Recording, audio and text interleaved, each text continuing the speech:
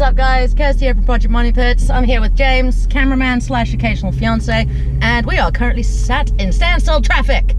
So today we are going down to Dunsfold, not Dunsfield, uh, Airfield, with the guys from LoveCars. Um, we have been very kindly invited by Tatbels. I'm Tatbels. What? Order stop, stop. Okay, okay. Oh.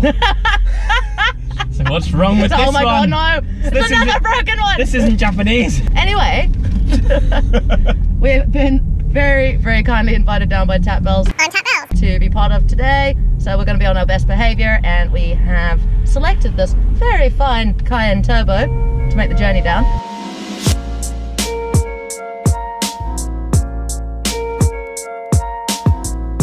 Which I put 40 pounds in and only achieved quarter of a tank. Achievement unlocked. Yeah. Savage petrol consumption.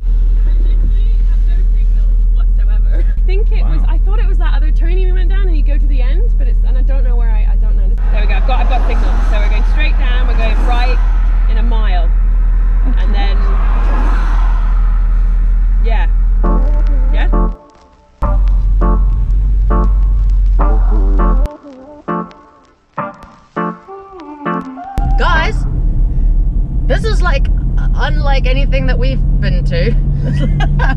it is absolutely insane.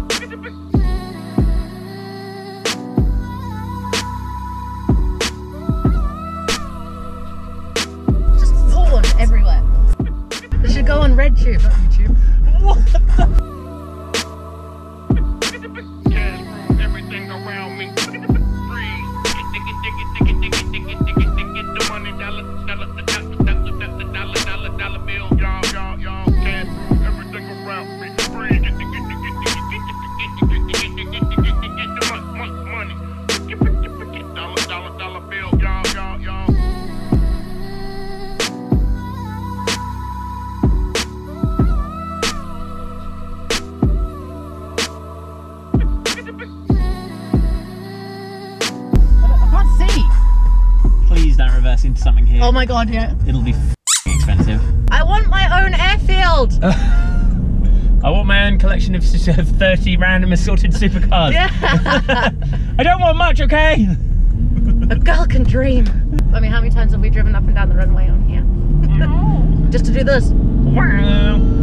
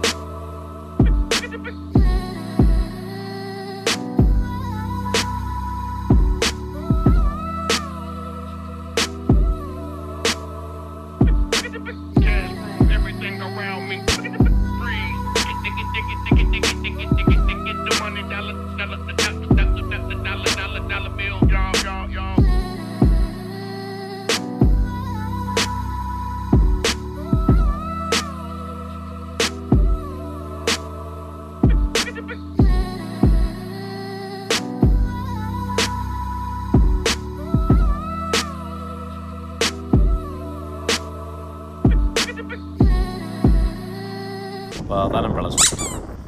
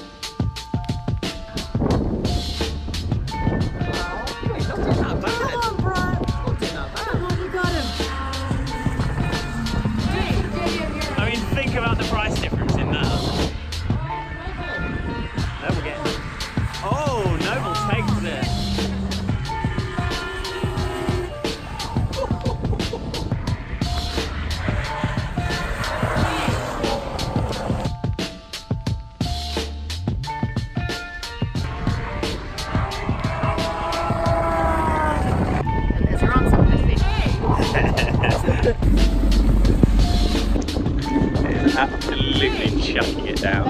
And everyone is in their supercars and we're just watching. Take the rain.